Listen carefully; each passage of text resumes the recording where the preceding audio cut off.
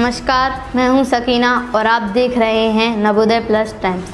आइए डालते हैं आज की इस खास खबर पर एक नज़र।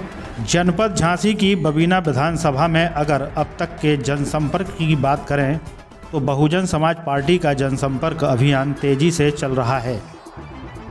बहुजन समाज पार्टी की ओर से सबसे पहले बबीना विधानसभा से अपने प्रत्याशी की घोषणा का फ़ायदा बहुजन समाज पार्टी के प्रत्याशी को मिल रहा है।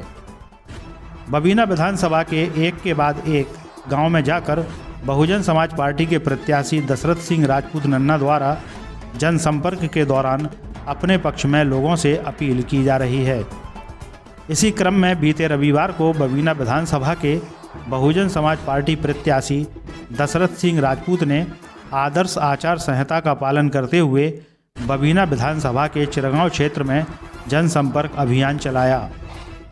यहाँ उन्होंने व्यक्तिगत तौर पर लोगों से घर घर जाकर जनसंपर्क किया।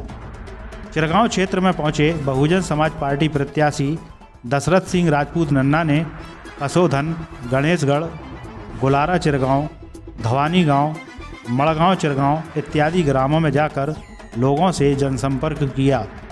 नवोदय प्लस टाइम्स के लिए बबीना से विजय वर्मा के साथ गौरव कुमार की रिपोर्ट।